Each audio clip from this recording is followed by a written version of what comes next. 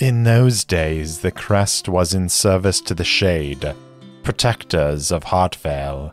Since our arrival in Davennar, I have wondered when the Vidala would discover our presence. I'd hoped it would be shortly after we drove blades into their backs, but some wishes may never come true. Winestone and the others have brought back a man who, by all descriptions, must be Destrian Vidala after realizing that he was following them through the streets. They subdued him and returned him, bound and gagged, to us at the Shivering Swan. How they did so on these streets is a marvel, but Winestone swears with confidence that they were not seen. Iron Gull anticipates a reprisal once they realize he is missing, so our soldiers are standing by. There's a palpable excitement in the air, though I worry about what these cultists might unleash on us. Lephalia is out on another of her walks, and I fear what might happen if she does not return before they strike. I cannot change what I cannot change, so instead I must focus on the task at hand. It is up to me to draw answers from our prisoner. What secrets will he share?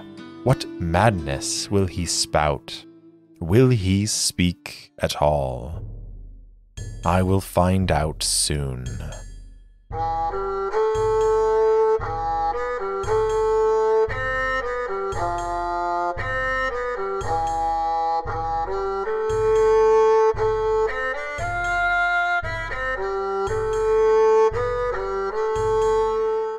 Welcome back for another episode of Errant Adventures. As always, I'm your game master and solo player, Steve Morrison.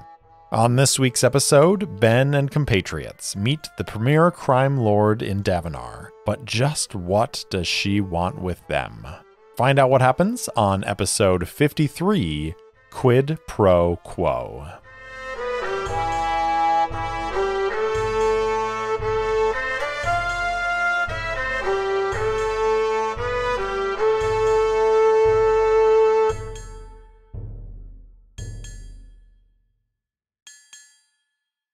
Last time, Ben met with the owner of the Shivering Swan, Marigold, and she provided him some information about going to talk to the harbor masters to find out more about the ship in the harbor that had drawn his interest on their arrival to Davennar.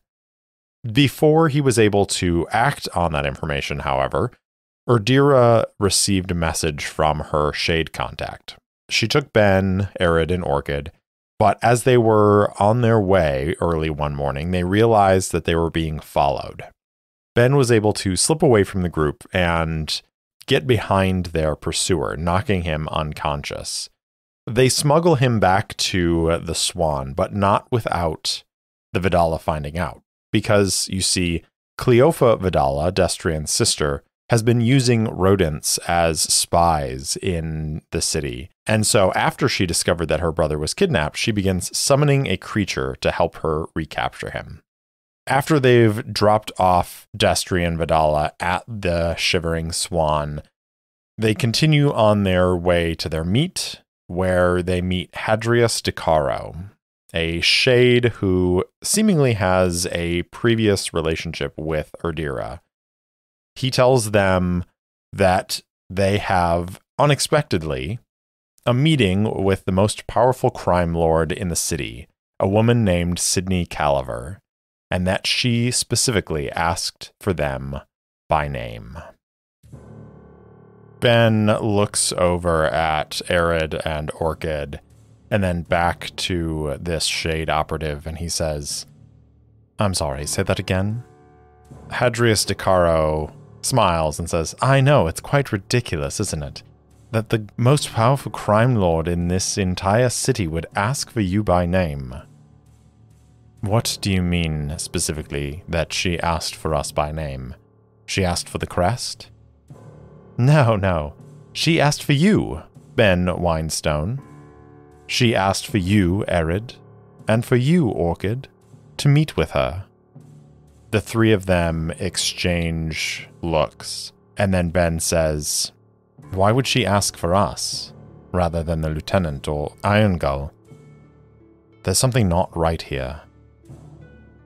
He eyes the shade with speculation, and DiCaro just sort of shrugs and says, I'm sorry, I wish I knew more, but she simply asked me to convey when I saw you that she would like to meet with you.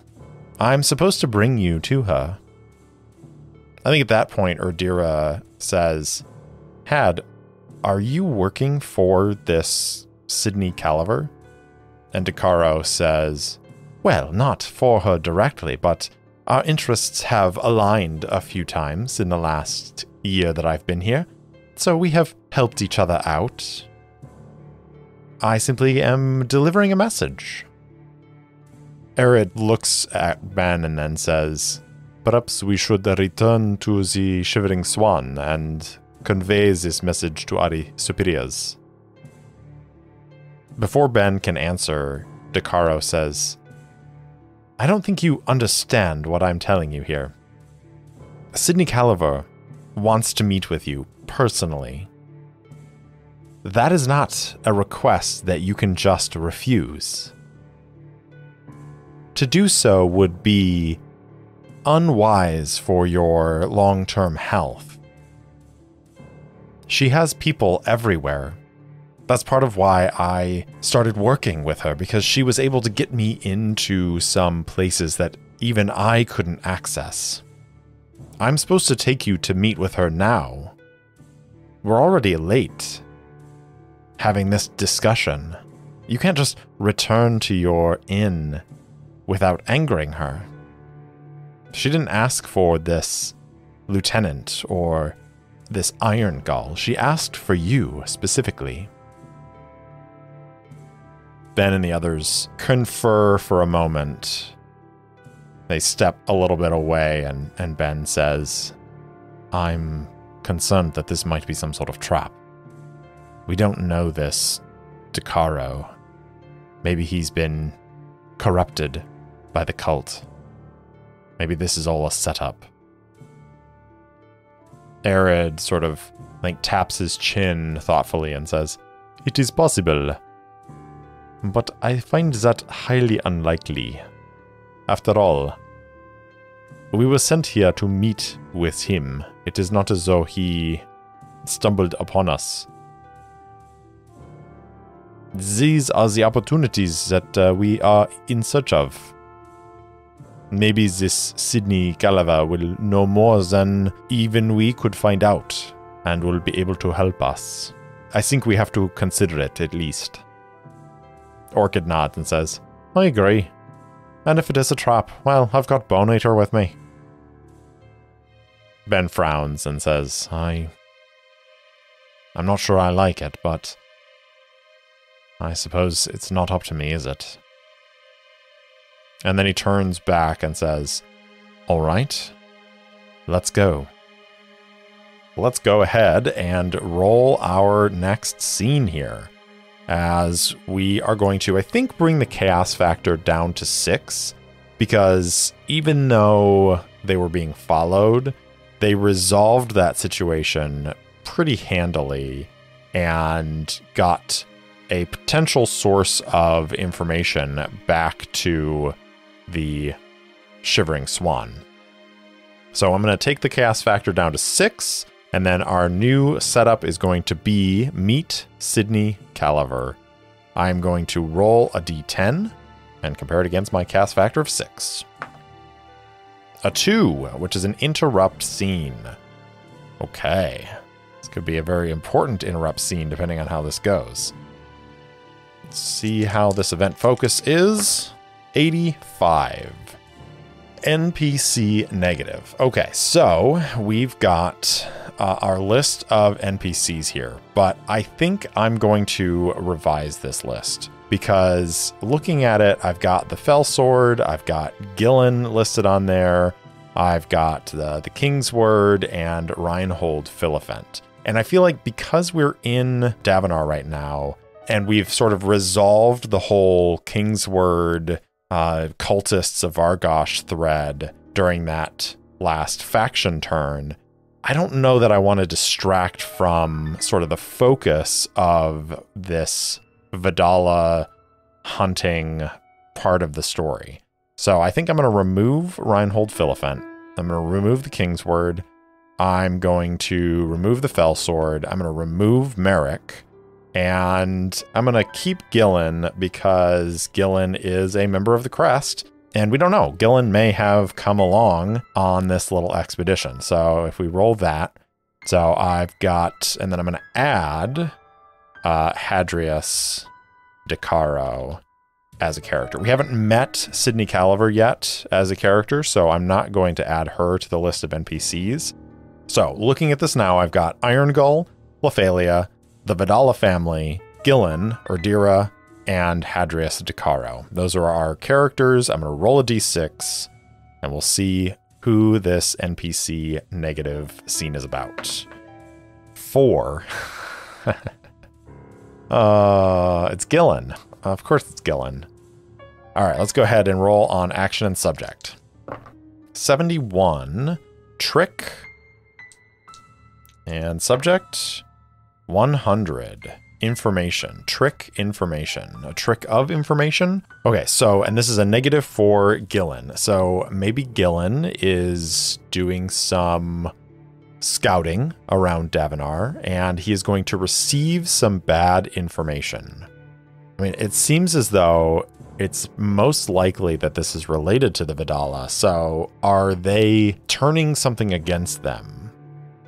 Or if this is a trick of information, are they using uh, a trick of information to capture him? Is this a situation where Gillen is going to be sort of captured by the Vidala as retribution for the capture of Destrian? So why don't we ask the fate chart? Uh, I think it is uh, very unlikely. I'm going to even say there's no way that Gillen gets captured by the Vidala here. Chaos factor of 6. 34 is a no. So that's not it. So he receives some faulty information. And this faulty information is going to do him some harm. It's got to be some information about where the Vidal are and what they're doing. So yeah, so maybe that's what it is because maybe maybe we can expand this out from just an NPC negative for Gillen specifically, but also for the Crest as a group of NPCs, because Ben and Arid and Orchid are absent from the Shivering Swan. The Crest are all located there. They are ready for an attack. But what if Gillen returns to the Shivering Swan with information that the Vidala are somewhere reachable. And Iron Gull decides to act on that information and send a portion of the soldiers out to strike. Maybe even Iron Gull takes a group of soldiers out to strike. And that is going to weaken their position to defend the Shivering Swan when the Vidala strike. So if we are looking at our map of Davennar here and our different districts, there's Mudside, which is in the stilts, which is kind of the poorer area.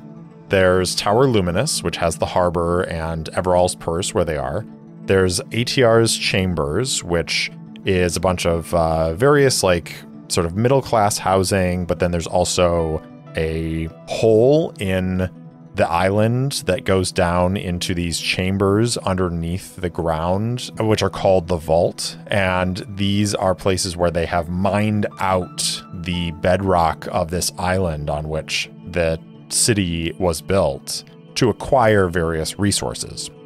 And then there is landing, which is where the sort of governmental district is, a lot of the like more upper class and then the sovereign spires are where the creme de la creme of society are located. I don't know that Gillen's information is going to lead them to the stilts. I'm kind of thinking it's going to lead them to ATR's chambers, and that Iron Gull is going to take a group of soldiers. So, this is the scene that we see. Gillen returns and he comes in and he goes up to Iron Gull and he says, Sergeant, I came back uh, with some information. Thought you might want to know. Iron Gull looks at him and says, Yeah, Gillen, what's going on? Well, I was talking to some merchants and I uh, heard them talking about uh, uh, strangers, a strange family that had taken up residence in uh, a small house uh, out in ATR's chambers. And I managed to get an address from them, and I thought you might want to know. Iron Gull looks at him and says, And you think this is our quarry? Gillen nods and says, Based on what they said, yeah. Eh, they made it seem like it was some foreigners. They even said they were from Hartvale, some upper class merchants, and that they had found a, a house to live in. Everything matches up, Sergeant. Iron Gull nods and says, Good work. And then he disappears back uh, into one of the back rooms of the Swan where they're staying, where Saga is in the midst of interrogating a bound and gagged Destrian Vidala. And he says, Saga, I've got some new intelligence. Going to move out with a number of troops. I'll leave some soldiers behind to keep an eye on you, but if we can strike hard and fast, we can have this over with, and then we won't need this one anymore. Saga nods and says, very well, Iron Gull. I will continue my questioning of our prisoner. Iron Gull and his crew head out, and that will conclude our interrupt scene. And then we can now move into this scene of meeting with Sydney Calaver. So, again, they found Hadrius Caro in crates in this warehouse district. And now they make their way back out of the crates through uh, one of the main thoroughfares of Everall's Purse towards Sextant. And they arrive at another inn. This one is in a much nicer spot on the island. It overlooks the harbor. Um, not quite uh, the like central part of the harbor, but the outer part of the harbor. And uh, it's within view of the lighthouse. They're approaching this inn, and let's go ahead and roll on Maze Rats because I do love rolling up a good inn name. Two and five. Drunken. It's a good start. And one and one. Axe. The Drunken Axe. So once again, they arrive in front of this inn. And Sextant has a certain amount of naval housing and training, like a training yard for naval officers. And they they have to walk past that area, which is probably in the shadow of Marteza's compass, this ancient lighthouse. And then they continue on down the street at this point in the day, it's like mid morning, and so there is a lot more bustle on the streets. There are small carts that are rumbling through the streets, and people are calling for pedestrians to get out of the way. It is this bustle of a city.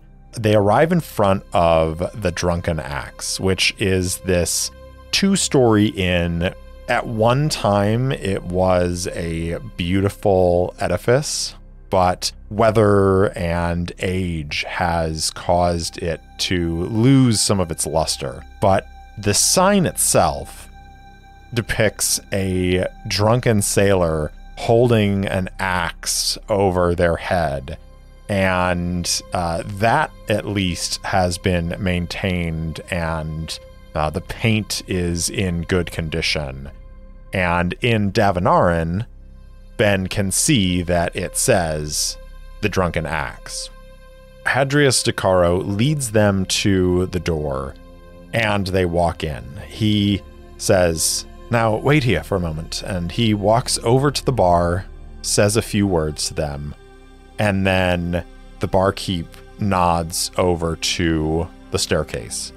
DeCaro gestures for them to meet him at the staircase. This whole time, Ben, Arid, Orchid, even Erdira is looking around. And in this moment where Dakaro has left them, Ben, I think, turns to Erdira and says, Erdira, do you trust him? And Erdira, I think maybe we should just ask the fate chart this. Does Erdira trust him? I think it is very likely that she does. Chaos rank of 6.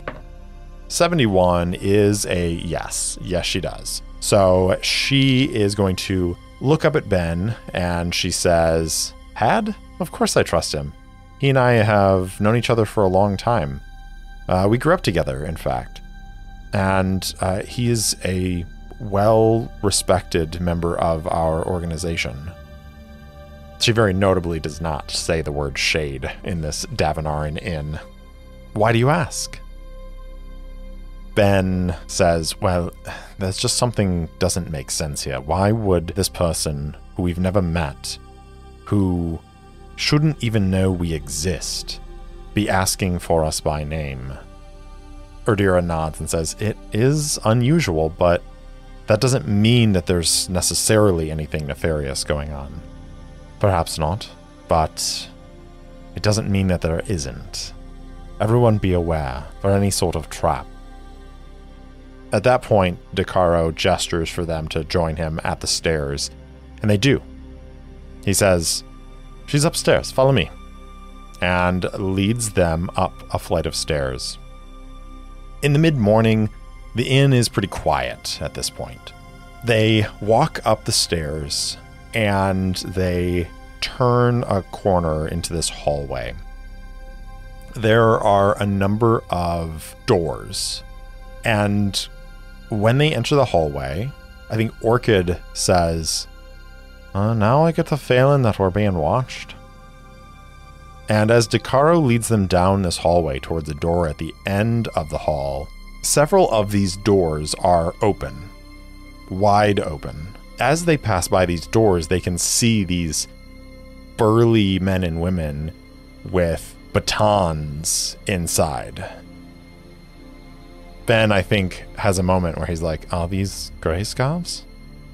And Arid shakes his head and says, I do not believe so.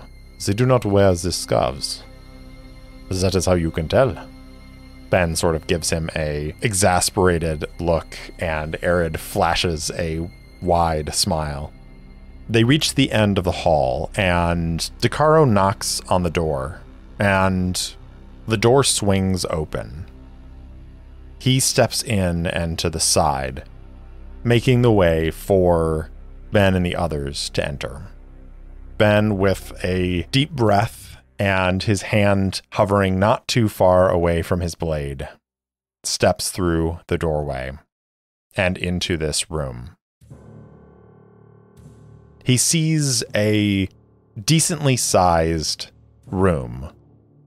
There should be a bed in here, you would think, in an inn, and a set of dressers and other accoutrements of a place to rest. But no, this looks like an office. There are chairs arranged in front of a large wooden desk. And sitting behind the desk is a woman who is thin with healthy bronze skin and white hair.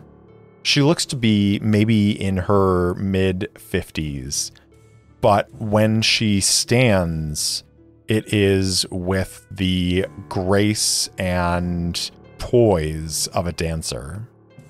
Her clothes are, are fine, and she looks at them across the table and says, Welcome and felicitations.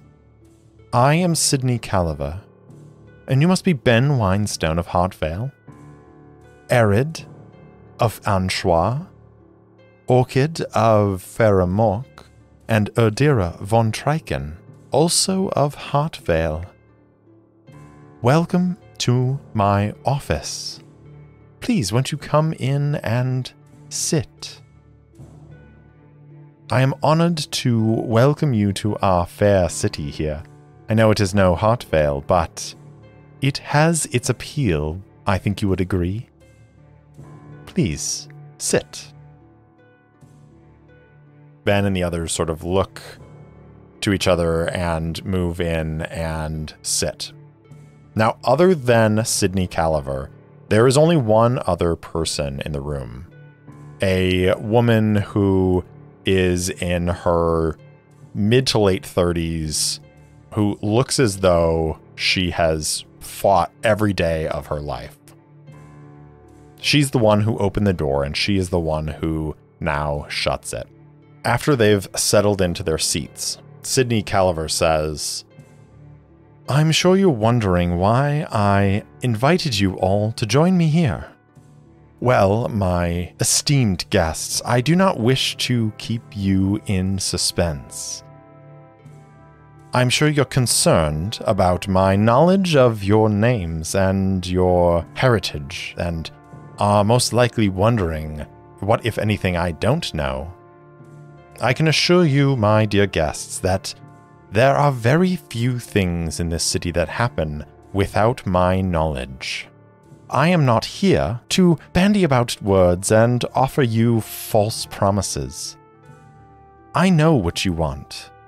You want members of a cult who go by the name Vidala. They've taken up residence in Mudside in a temple I will tell you what temple and how to get to them. But first, I need something from you. What does she need?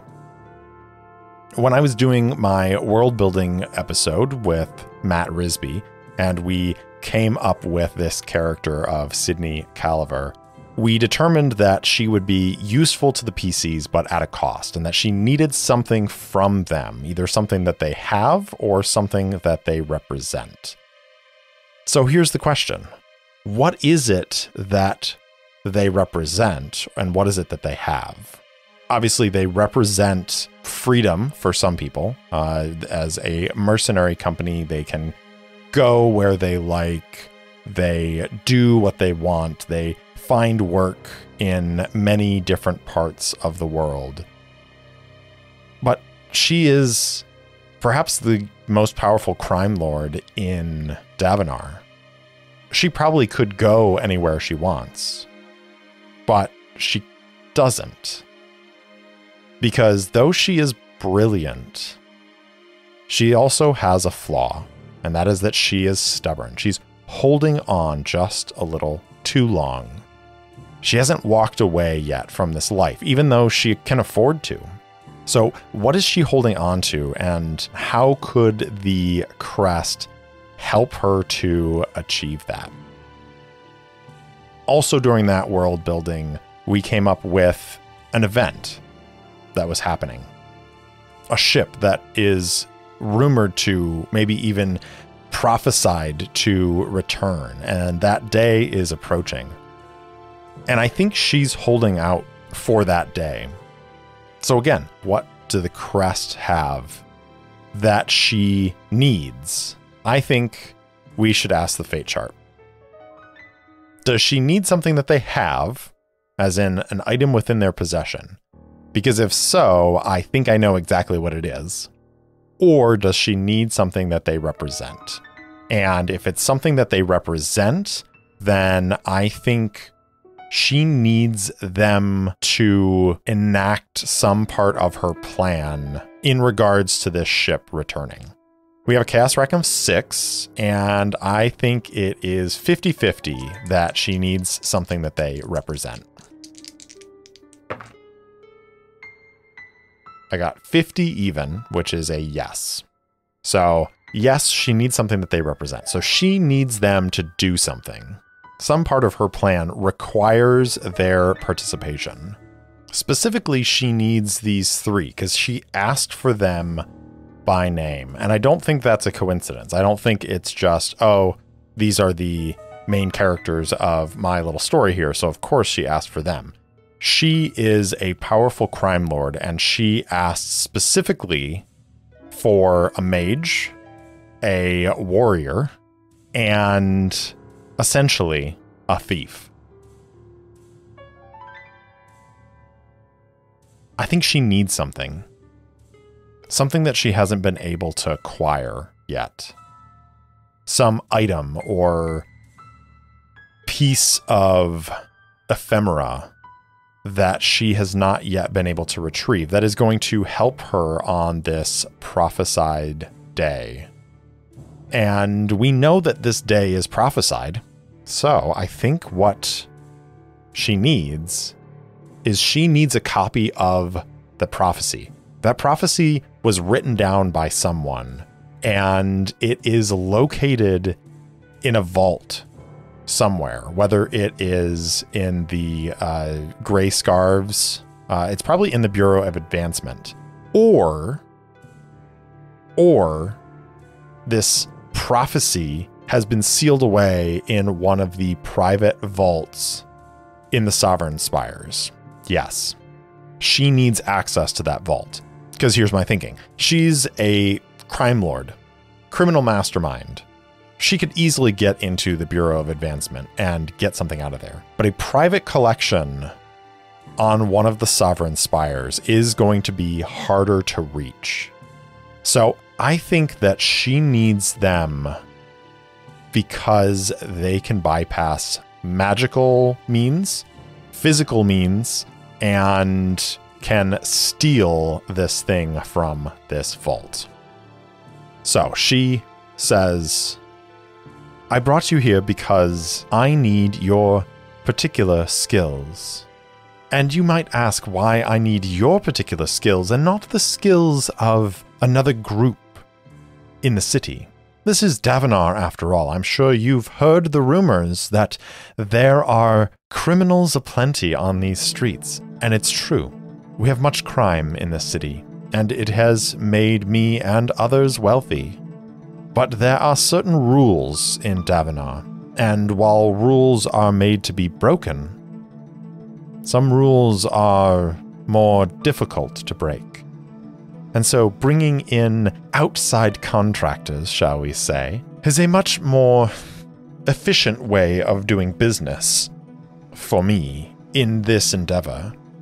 I would have to pay off far too many people in order to keep quiet the heist that I have planned. But the three of you, the three of you could perform this, and your shade friend, of course. Yes, I know what your occupation is. It's no concern of mine as long as you are plying your trade in my benefit.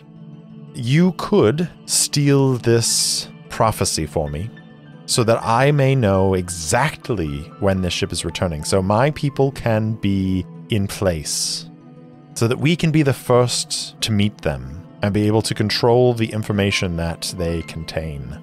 Ben looks at her and says, So you brought us here. You invited us by name, which I'll admit is an impressive trick, knowing who we are and where we come from. There aren't many in the city who would have that knowledge. But you have essentially invited us here to offer us a job. Sydney Calaver says, You could look at it that way. I choose, however, Master Winestone. I will continue calling you by that name, though I could call you by another. I choose to think of this as an exchange, an exchange of goods. I have information, you have skills.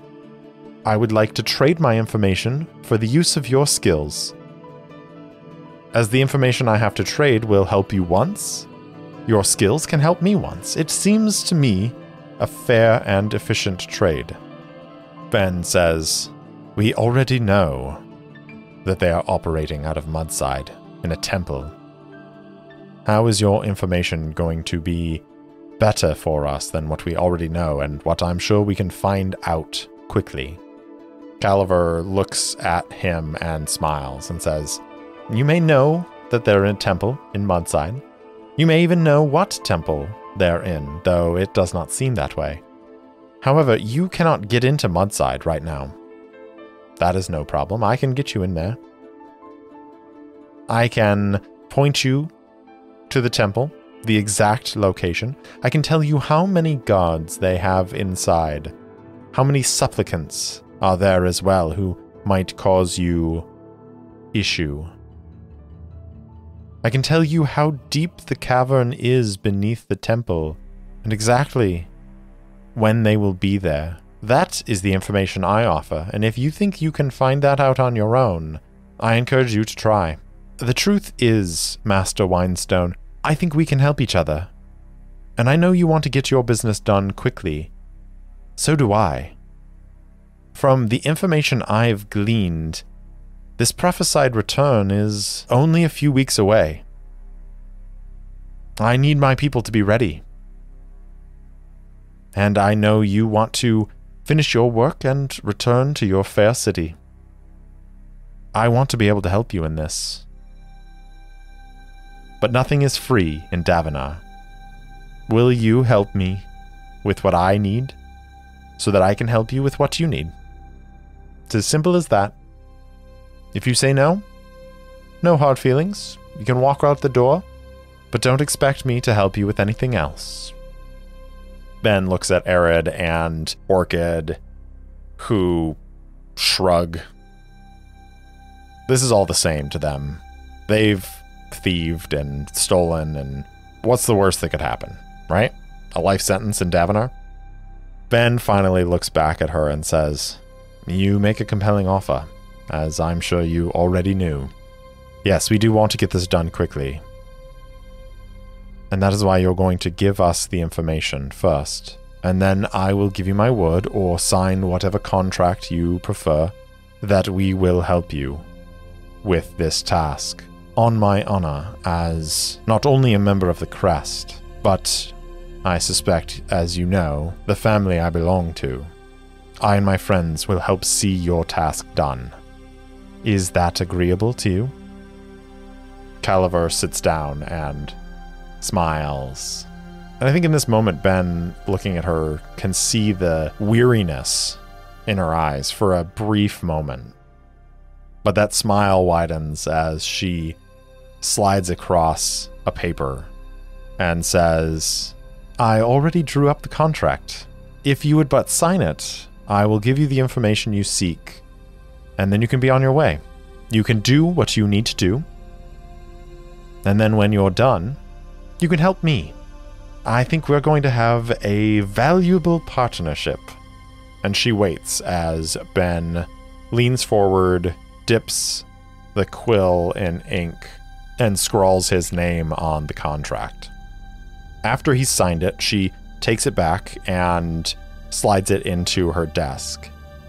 And then she removes a few sheafs of paper and hands them over and says, This contains all the information that you will need on the Vidala and their hideout.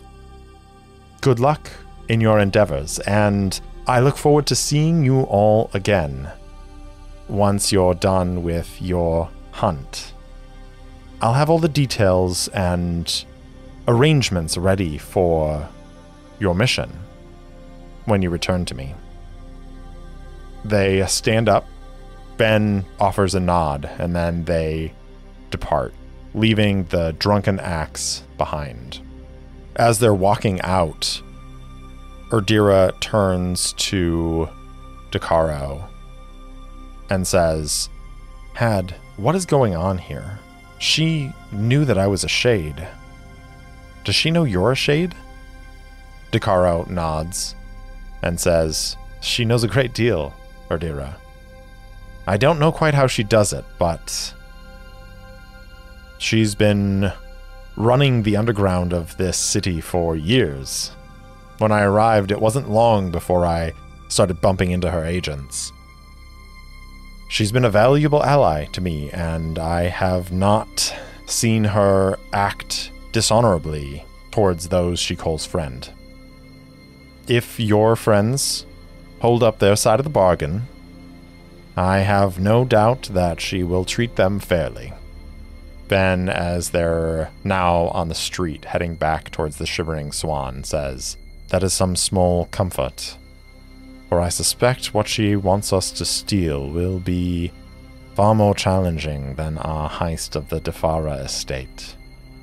But no matter, we have uh, the information we've come here for. Let's get back to the Shivering Swan, inform Iron Gull of where the Vidala are located, and plan our assault. And I think that's a good place to end that scene.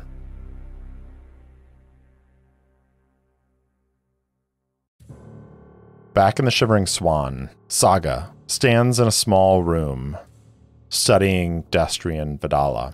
He is tied to the chair, a gag still stuffed in his mouth.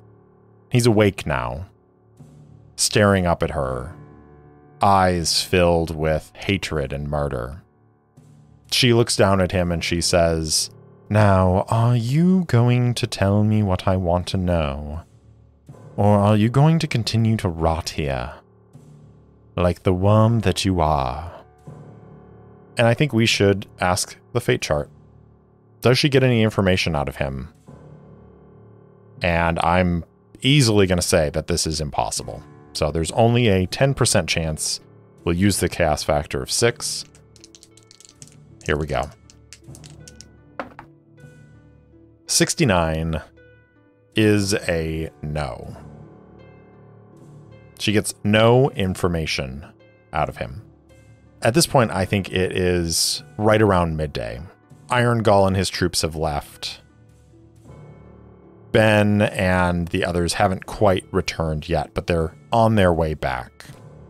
So the other question is Is Cleofa waiting for nightfall for her minion to do its work and to try and free her brother?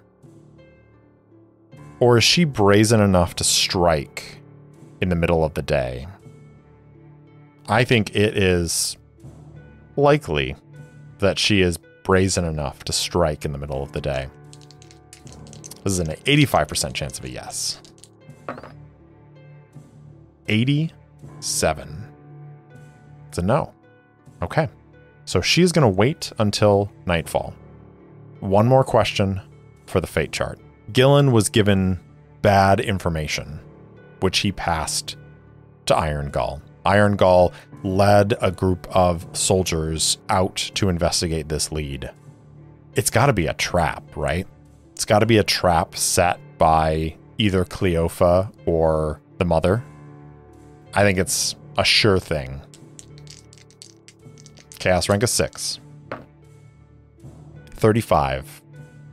That's definitely a yes. How bad is this trap?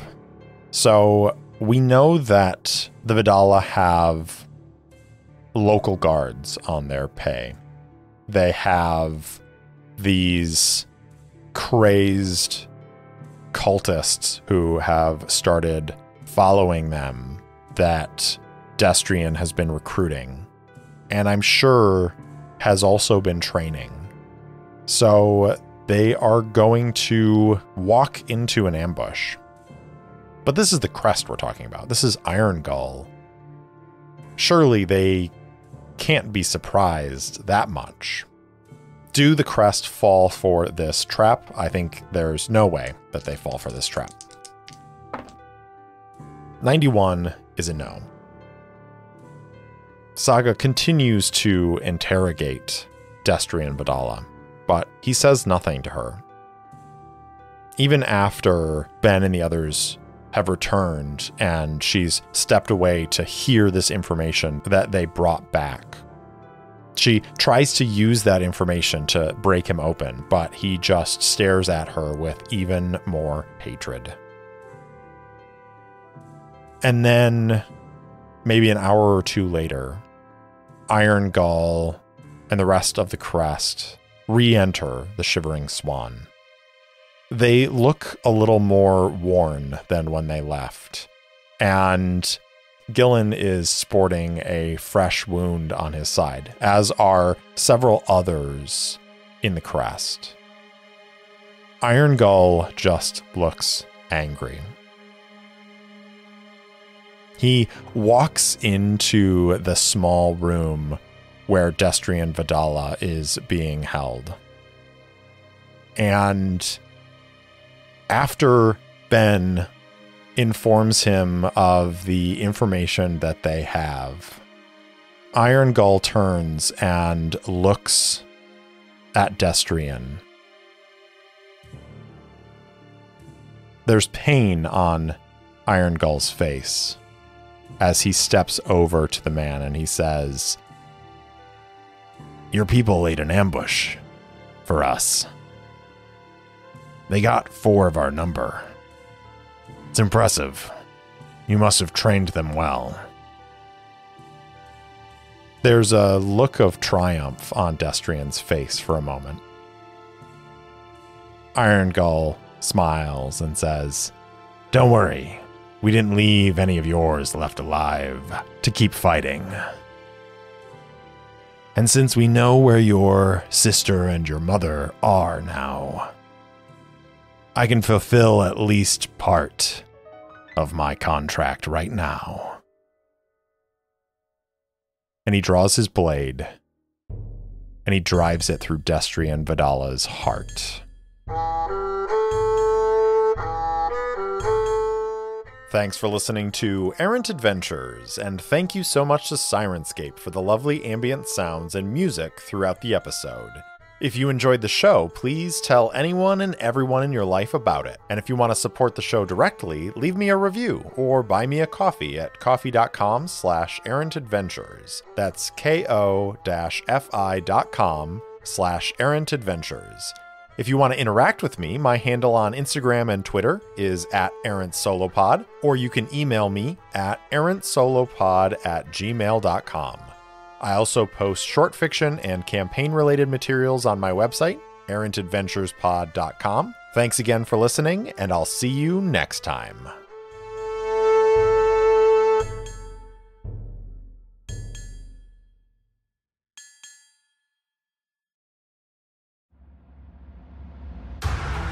Are you looking for a D&D podcast with a dark side? Something more like Game of Thrones and less like Monty Python? Tale of the Manticore is part dark fantasy audio drama, part solo D&D RPG. There's no plot armor here. The dice make all the important decisions. Join me as I resurrect the excitement, wonder, and emotion of old school D&D. Made for a mature audience, Tale of the Manticore is both a fiction and a game. It's the story where chaos rolls.